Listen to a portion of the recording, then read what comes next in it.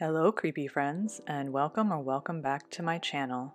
Today we'll be doing my June reading wrap up and the mid year book freakout tag. So get your favorite drink and get cozy.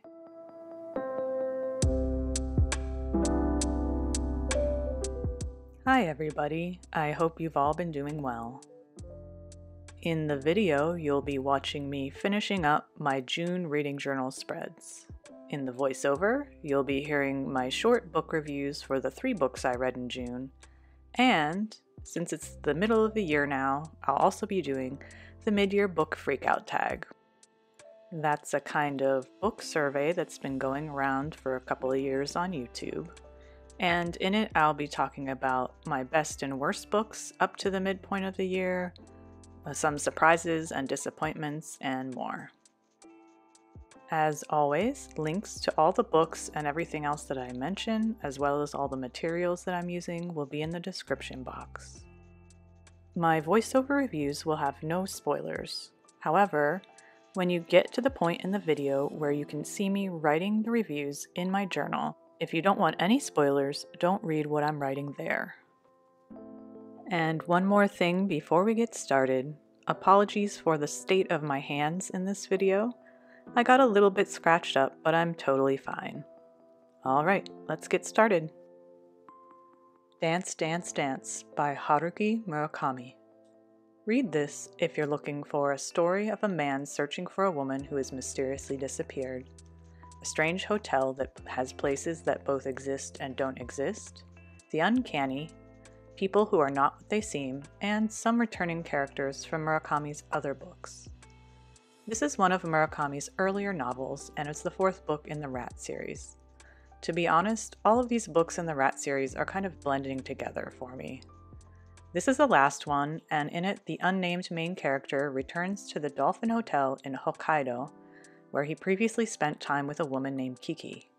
He's looking for her, as she has mysteriously gone missing, and when he arrives at the Dolphin, he finds that it has been completely rebuilt into a modern and beautiful hotel, but that it has retained the name.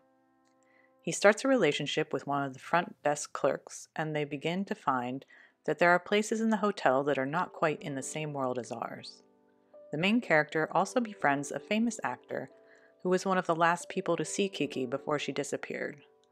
As he spends more time with this seemingly caring man, he starts to learn about his dark past.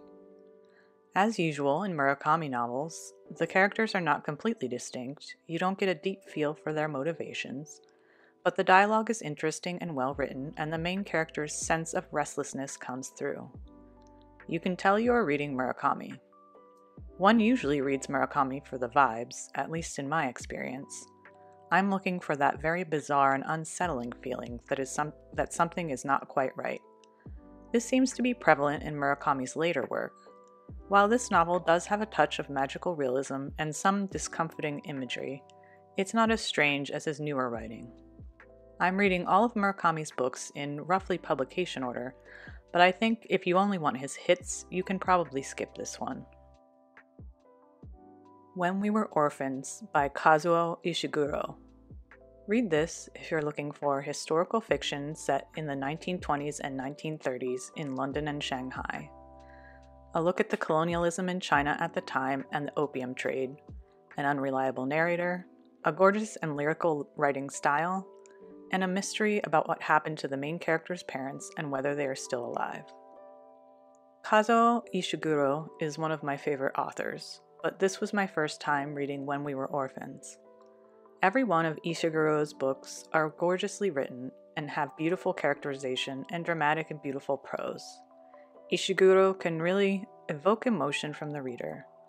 That being said, I would probably place this lower down on a ranking of Ishiguro's books. Our narrator, Christopher Banks, is English but spent his young childhood in the early 1900s in Shanghai, playing with his neighbor, a Japanese boy named Akira. Christopher's father is somehow involved in some shady business involving opium, and both his parents go missing when he is 10 years old. The adult Christopher has become a detective and has been obsessed with the idea of finding his parents, believing that they have been kidnapped and are still alive. When he returns to a war torn Shanghai to look for them, he starts to uncover the unsettling truths of his childhood. Ishiguro is considered one of the masters of the unreliable narrator. In this book, you do get more and more information about what really happened as the book goes on, but it doesn't seem that Christopher is purposely hiding the information from the reader.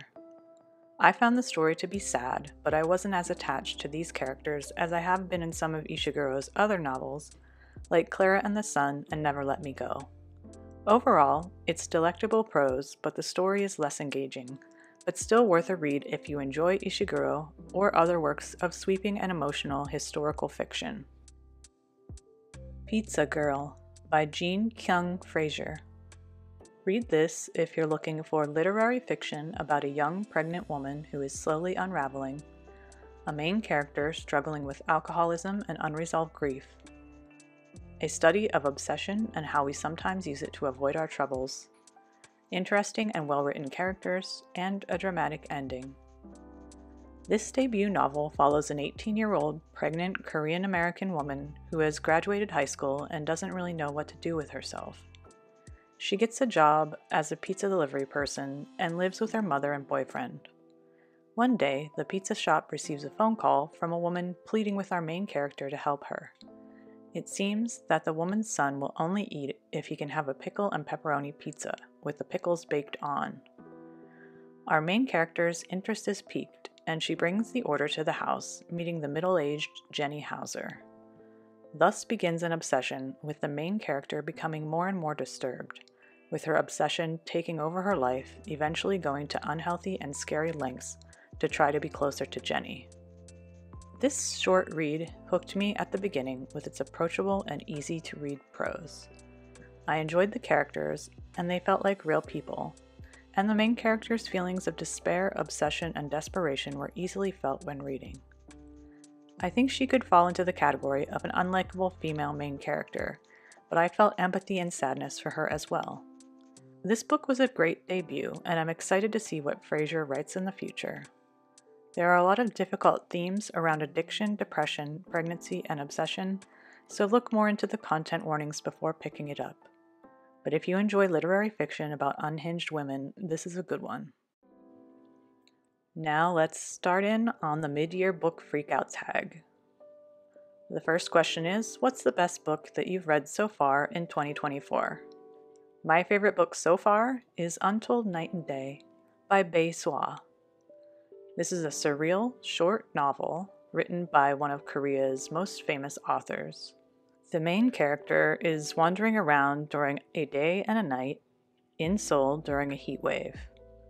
The surreal writing really makes you feel like you're in some kind of fever dream or suffering from heat stroke, with its disorienting and cyclical writing style. What's the best sequel you've read so far in 2024? I really loved a Desolation Called Peace, which is the sequel to A Memory Called Empire. This is a sci fi duology by Arkady Martine. This duology has political intrigue, an assassination, and first contact with an alien race. These are really fun and approachable sci fi books. A new release that you haven't read but want to.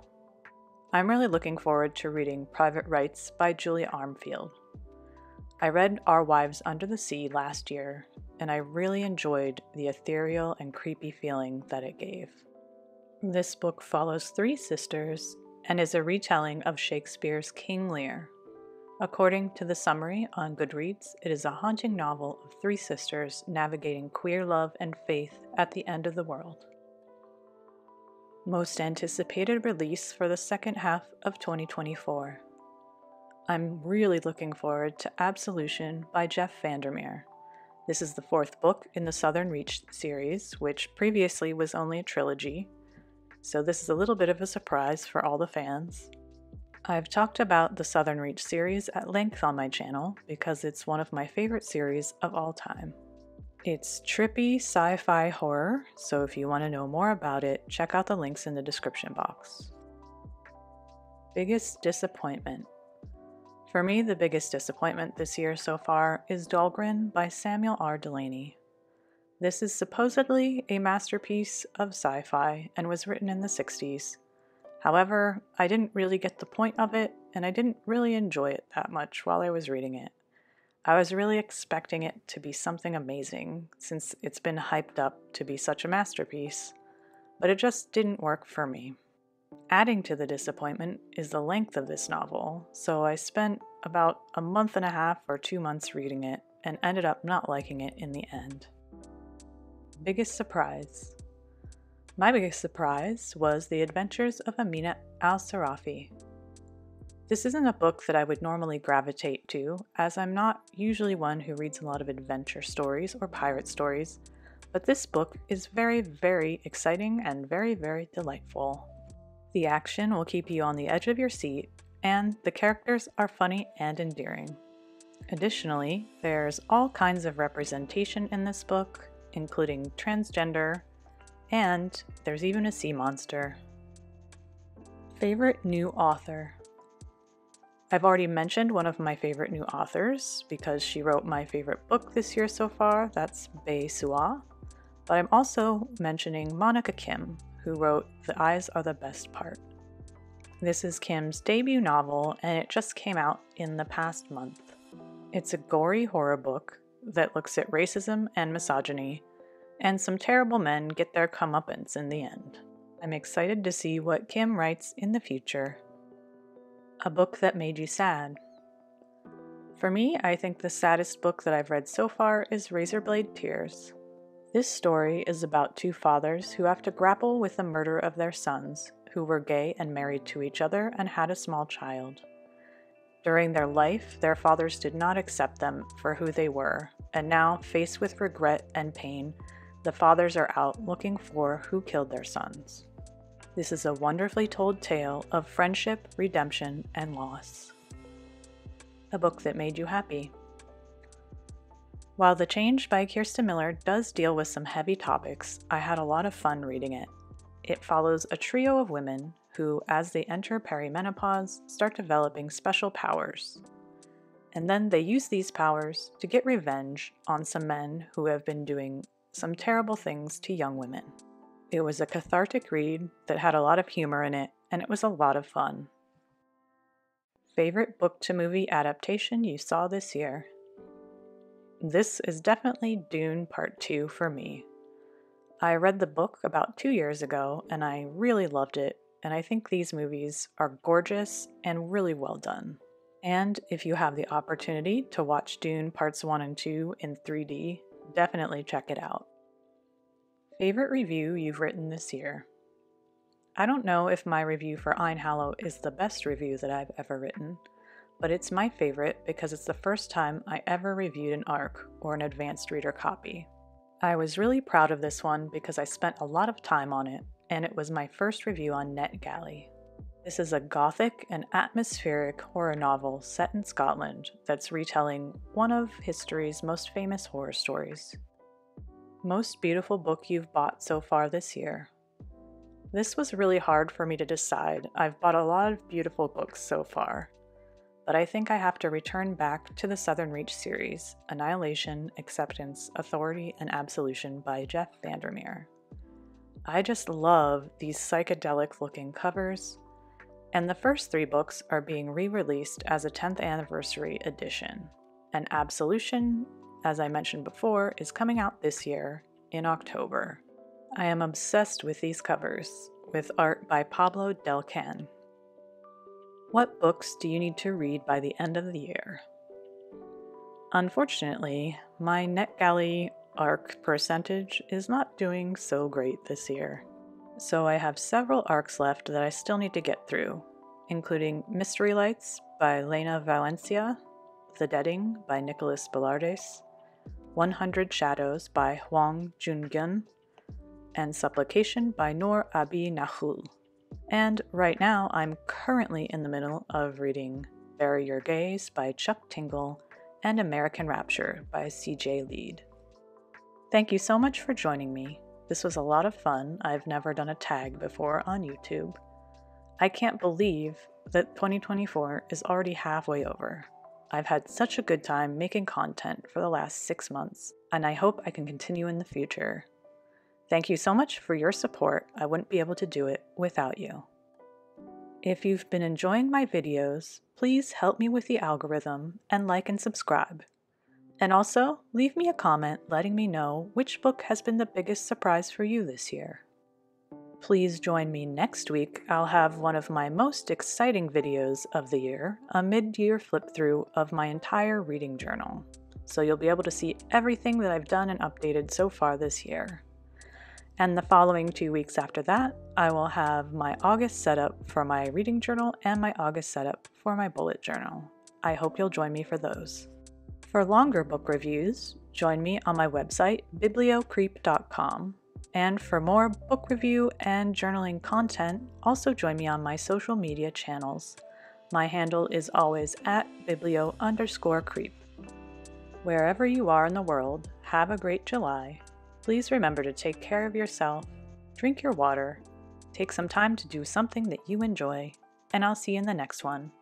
Bye.